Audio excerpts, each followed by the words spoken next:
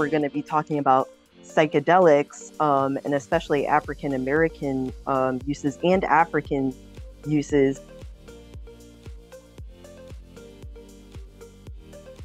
The secret history of psychedelics really is just our use of psychedelics. Um, we just haven't felt really confident in sharing those experiences. The Dogon tribe believed that the cannabis was given to us by people from Sirius. And so when we're using these medicines, right, try to reach out, try to interact with these intelligences, these beings. Ask them questions, right? See what answers you get. People were actually taking, you know, secret trips to Africa to ingest this medicine.